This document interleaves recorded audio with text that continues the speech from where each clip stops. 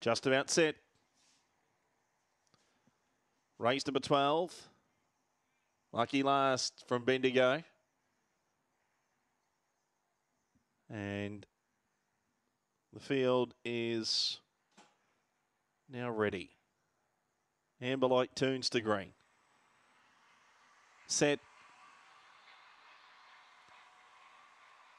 Racing, flying out of three. Swanky Chick won the start clearly. Dig Dag the slowest to leave. So the leader on settling, Swanky Chick, through into second placing. Tough Toby with Sun in Cuba, who got a check. Peaches went around the outside. Back to centre field, dashing Jeff. Then Dig Dag, well back in the race. Sun in Cuba, spoiler alert. Big trucker around the turn. Swanky Chick led for home, driving the inside. Peaches, still Swanky Chick though. Swanky Chick beat Peaches. Tough Toby, dashing Jeff and Dig Dag. Next in was spoiler alert, followed by Big Trucker. Last in was Sun in Cuba in 24 and 16.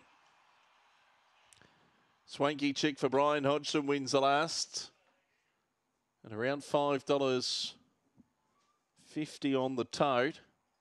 Went off at around 7 Being a drifter on the fix, there was plenty of trouble in behind. And Swanky Chick was able to avoid that trouble. 3518 on the last. 3518. Winner number three. Swanky Chick. She's by Tommy Shelby out of Floral Lace for uh, B. Dowler and Brian Hodgson. Second number five.